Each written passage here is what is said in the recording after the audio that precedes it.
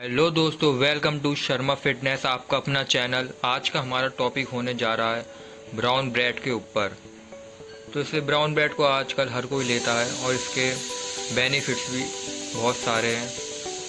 तो बिना time waste करे वीडियो स्टार्ट करते हैं। तो दोस्तों ब्राउन ब्रेड जिम वाले लोग ज़्यादा लेते हैं वाइट ब्रेड से, क्योंकि इसके फ़ायदे वाइट ब्रेड से ज़्यादा मिलते हैं। तो आज इसके बेनिफिट्स के ऊपर हम वीडियो बना रहे हैं ब्राउन ब्रेड की। तो वीडियो स्टार्ट करते हैं। तो ब्राउन ब्रेड में आपको न्यूट्रिशन दिखाते हैं। कार्बोहाइड्रेट आपको 45 ग्राम मिलेगा 100 ग्राम में। प्रोटीन भी आपको 9.5 ग्राम मिल जाएगा। अच्छा है, फैट कम मिलेगा, कैल्शियम भी अच्छा खासा मिल रहा है, आयरन भी, और vitamin B one, vitamin B two, energy two thirty मिल रही है आपको।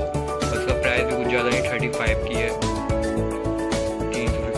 है ब्राउन ब्रेड और सिर्फ़ काफ़ी बेनिफिट्स हैं, जैसे कि आप जिम जाते हैं तो आप सिक्स पैक्स निकालना चाहते हैं, बहुत से लोग सिक्स पैक से ज़्यादा फैट आगे को नहीं आए वो बने रहे तो इसके लिए ब्राउन ब्रेड होती है, ये काफ़ी फ़ायदा करती है।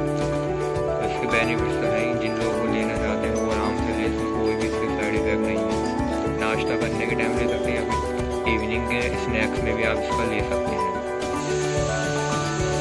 दोस्तों ये थी ब्राउन ब्रेड इससे कोई भी आपको बेनिफिट जो है, आपको आराम से मिलेगा मेरे साथ जिम वाले लोग ज़्यादा फ़ायदा करेंगे। दोस्तों, वीडियो पसंद आई तो लाइक करिए चैनल को सब्सक्राइब करना